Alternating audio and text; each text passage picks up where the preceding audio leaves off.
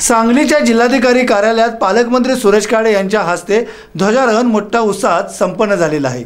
सांगली पालकमंत्री सुरेश खाडे यांच्या हस्ते ध्वजारोहण संपन्न. स्वातंत्र्य दिनानिमित्त सांगलीच्या जिल्हाधिकारी कार्यालयात पालकमंत्री नामदार सुरेश खाडे यांच्या हस्ते शासकीय ध्वजारोहण पार पडलं. सकाळी नऊ वाजून पाच मिनिटांनी पालकमंत्री सुरेशभाऊ खाडे यांच्या हस्ते ध्वज फडकवण्यात आला. यावेळी विविध शासकीय कार्यालयातील गुणवंत अधिकारी कर्मचारी यांचा सत्कार करण्यात आला. तसेच सैनिक कल्याण क- का- कार्यालयाकडून सैन्य दलात उल्लेखनीय कामगिरी करणाऱ्या सैनिकांच्या कुटुंबाचाही सन्मान करण्यात आला या कार्यक्रमास जिल्हाधिकारी डॉक्टर राजा दयानिधी यांच्यासह सर्व प्रशासकीय अधिकारी स्वातंत्र्य सैनिक उपस्थित होते.